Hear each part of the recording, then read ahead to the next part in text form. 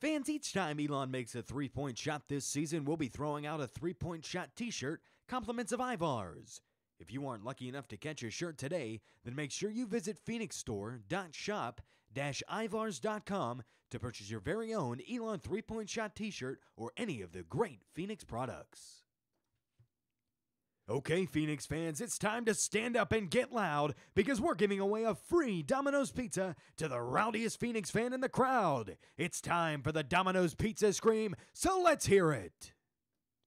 West End Station would like to thank the fans for their support of Elon basketball by recognizing a fan of the game and giving them a $25 gift certificate. Tonight's West End Station fan of the game is John Johns.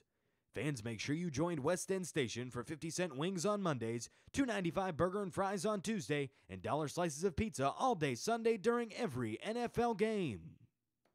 Fans, it's time to reach in your pocket and pull out that colored piece of paper and make some noise for the Bojangles Dot Race. On the blue dot is Evan, on the red dot is Rachel, and on the green dot is Taylor. These contestants will race the length of the floor, and if your color wins the race, you win a great prize from Bojangles. So, contestants, on your mark, get set, and go! And Rachel on the green dot is our winner. Those with a green ticket can claim your prize at the entrance.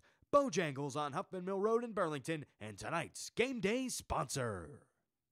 Ladies and gentlemen, tonight's final score Elon 87 and St. Andrews 53. Fans, be sure to join us back here in Alumni Gym for men's basketball's Southern Conference opener against the Furman Paladins on Wednesday, November 30th. Tip time is set for 7 p.m. Join the Phoenix coaching staff this evening at Town Table Restaurant within walking distance of Alumni Gym. Town Table, the official postgame spot for Phoenix basketball coaches. On behalf of the Elon Department of Athletics, we thank you for your attendance tonight. Once again, Elon is back in action on Wednesday, November 30th against the Furman Paladins. Tune into the postgame radio show on WPCM 920 AM on your way home tonight.